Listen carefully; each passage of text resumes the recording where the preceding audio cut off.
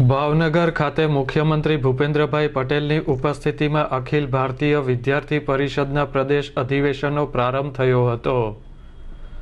ભાવનગરના ઝવેરચંદ મેઘાણી ઓડિટોરિયમ ખાતે યોજાયેલ ચોપ્પનમાં અધિવેશનમાં મુખ્યમંત્રી ભૂપેન્દ્રભાઈ પટેલ, ભાવનગરના લીલા ગ્રુપના ચેરમેન કોમલકાંત શર્મા, અમરભાઈ આચાર્ય, અખિલ ભારતીય વિદ્યાર્થી પરિષદના પ્રદેશ અધ્યક્ષ ડૉક્ટર સંજયભાઈ ચૌહાણ પ્રદેશ મંત્રી યુતિબેન ગજરે સહિતના હોદ્દેદારો ઉપસ્થિત રહ્યા હતા.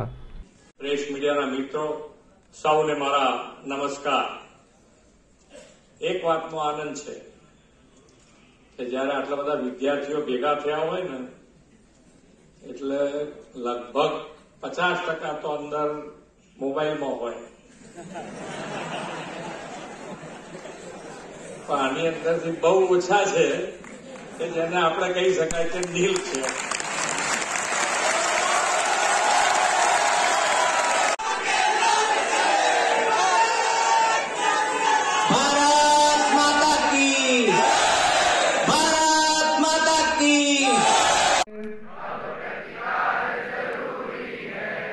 કાર્યક્રમમાં ઉપસ્થિત મહેમાનોનું સ્વાગત સમિતિ દ્વારા સ્વાગત કરાયું હતું.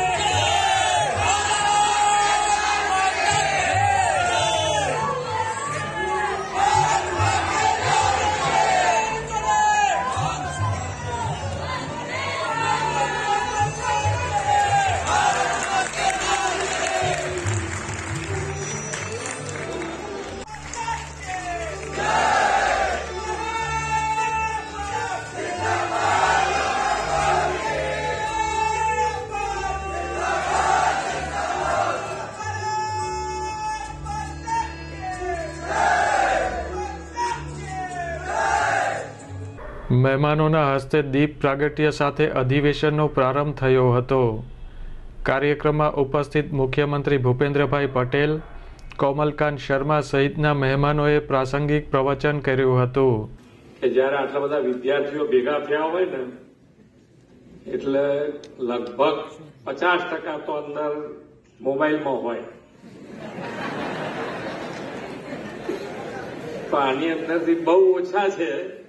કે જેને આપણે કહી શકાય કે નીલ છે.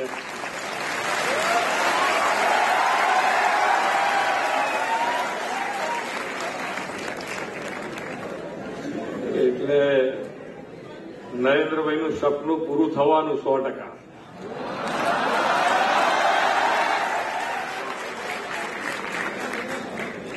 અખિલ ભારતીય વિદ્યાર્થી પરિષદ એટલે શિક્ષણ, વ્યક્તિત્વ વિકાસ ચારિત્ર ઘડતર, રાષ્ટ્રભક્તિ સમાજ અને યુવાનોમાં કૌશલ્ય નિર્માણ એવી અનેક પહેલોને એક છત્ર નીચે આવરી લેતું એક અભૂતપૂર્વ સંગઠન છે. યુવા મિત્રો, વિશ્વના સૌથી લોકપ્રિય નેતા અને આપણા યશસ્વી વડાપ્રધાન નરેન્દ્રભાઈ મોદીના નેતૃત્વમાં દેશ સ્વતંત્રતાના પંચોતેર વર્ષ પૂરા કરી અમૃતકાળમાં પ્રવેશ્યો છે. ત્યારે આ સંગઠન પણ અમૃતકાળમાં પ્રવેશી રહ્યું છે એ ગૌરવની વાત છે. આદરણીય વડાપ્રધાનશ્રીએ દેશના આ અમૃતકાળ માટે યુવાનોની ભૂમિકા પર વિશેષ ભાર મૂક્યો છે અને આ સંગઠન તો આત્મા અને શરીર બંને યુવાનોથી બનેલું છે. આદરણીય શ્રી નરેન્દ્રભાઈએ અનેક વાર કહ્યું છે કે દેશનો વિકાસ અને દેશનું ભવિષ્ય યુવાનોના હાથમાં છે. આજે ભારત વિશ્વનો સૌથી યુવા દેશ છે અને આ ડેમોગ્રાફિક ડિવિડન્ડનો ફાયદો લેવા શ્રી નરેન્દ્રભાઈએ સુદૃઢ આયોજન કર્યું છે. અધિવેશનમાં સુંદર પ્રદર્શન કરવા આવી રહ્યું છે. શિક્ષણ અને રાષ્ટ્રીય સંદર્ભ વિષયો પર ભાષણો તથા ચિંતન થશે. વિવિધ પ્રસ્તાવો પ્રસાર થશે. આવતીકાલે શોભાયાત્રા અને ભાષણ થશે જેમાં છાત્ર શક્તિનું પ્રદર્શન થશે. આમ ત્રણ દિવસનું આ અધિવેશન યુવાનો, વિદ્યાર્થી અને રાષ્ટ્રીય ભાવનાને જીવિત કરવા તથા નવો ધ્યાય તરફ લઈ જવાનો અભિગમ માટે અમને ખૂબ અભિનંદન છે. તમામ પ્રતિનિધિઓને ખુશ, ખૂબ સુંદર યાદો લઈને જાય. અધિવેશનમાંથી જાય એ રીતે અધિવેશન માને તેવી મારી શુભકામનાઓ. આ કાર્યક્રમ ગુજરાતના સરળ, સક્રિય મુખ્યમંત્રીની ઉપસ્થિત. આપના કાર્યક્રમને ખૂબ ગરિમા મળી છે. આપનો સુહાનો ખૂબ ઉત્સાહ વધે અને બદલ ખૂબ અભિનંદન વ્યક્ત કરીએ છીએ. આ અધિવેશન સફળ માટે સૌને ખૂબ ખૂબ શુભેચ્છાઓ. એક બે મિનિટ હું મારી પર્સનલ વાત શેર કરી લઉં. કાળમાં સક્રિય હતો, nineteen seventy five, seventy six Poona Ferguson college. પછી seventy સેવનથી eighty eighty one MS university Baroda અમારા ટાઈમમાં ખૂબ અમે પરિશ્રમ અને ખૂબ કઠોર દિવસો જોયા હતા. નવનિર્માણને બધી બધી જે બી પ્રોબ્લેમ હતી બધી આવતી હતી.